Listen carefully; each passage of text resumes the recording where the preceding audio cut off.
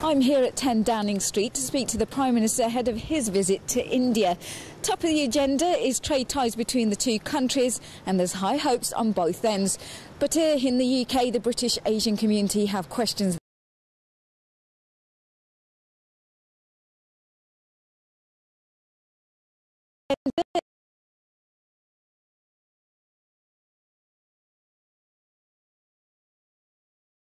I'm here at 10 Downing Street to speak to the Prime Minister ahead of his visit to India. Top of the agenda is trade ties between the two countries, and there's high hopes on both ends.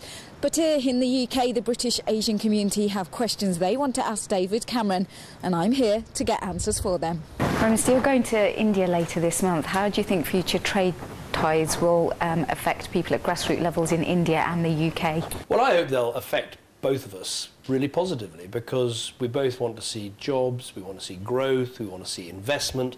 And I think it's a very special partnership between Britain and India. We've got these ties of history, language, culture, but really I see it as a very strong relationship about the future. Huge investment from India into Britain, huge investment from Britain into India, lots of our businesses partnering, lots of trade, uh, and lots of jobs. That's what I see. Uh, good for both of us and uh, something I'm really, really enthusiastic about. And what do you expect from India's side? Well, I think it's good for both of us. I mean, we've set a target, the Indian Prime Minister and I, of doubling trade between Britain and India over this Parliament. We hope to achieve that.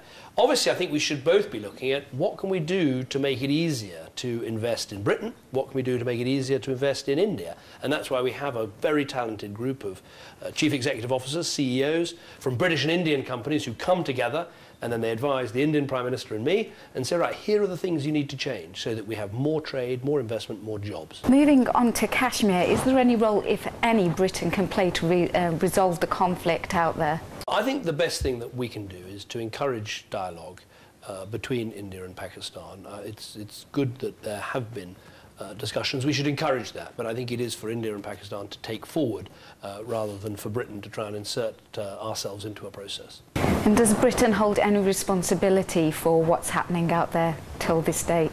Well, obviously there is all the, the history of this uh, issue, but uh, as we stand today, I think what matters most of all is for India and Pakistan, for themselves to uh, to encourage dialogue and to find a way through, and we should be supportive of that, rather than to think that we can somehow insert ourselves into some into some role.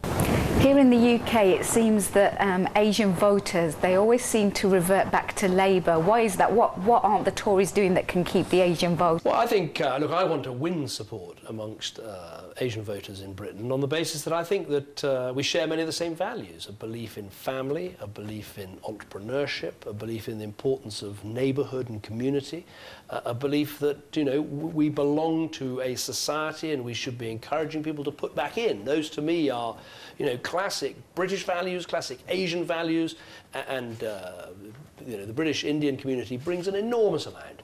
Uh, to our country and contributes a huge amount.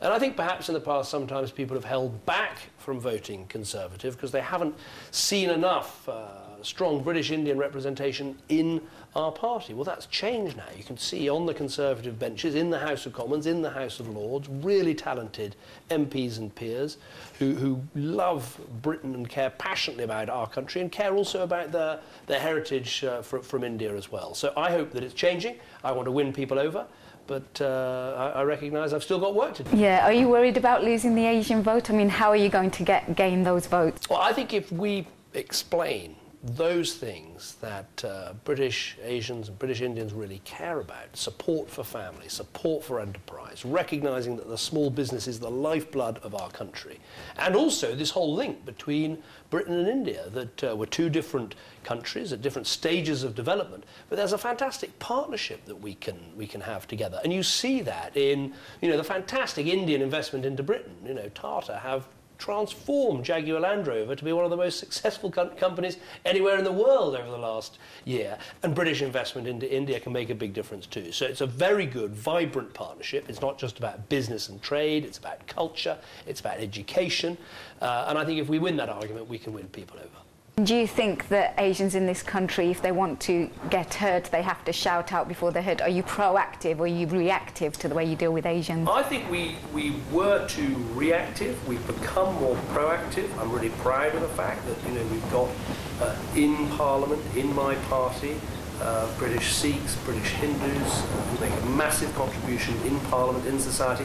Maybe in the past we didn't, you know, we, we weren't open enough. We didn't do enough to promote uh, that sort of thinking. But we have. Now we need to get out there and shout it from the rooftops. Immigration's a big thing. You're trying to get trade here. I mean, isn't it a hindrance? We haven't perhaps communicated this properly. The fact is, today, as we stand, uh, and these are, this is going to be the case going forward, there is no limit on the number of students who can come from India to study at British universities. No limit at all. All you need is a basic English qualification and a place at a British university.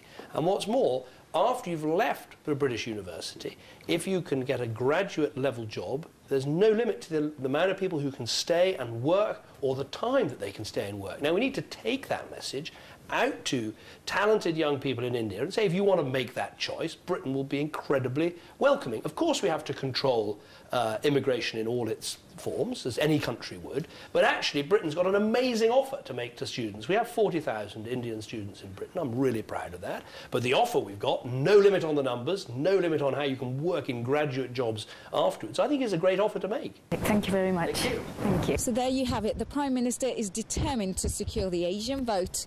I'm Suki Joel, reporting for Sunrise TV.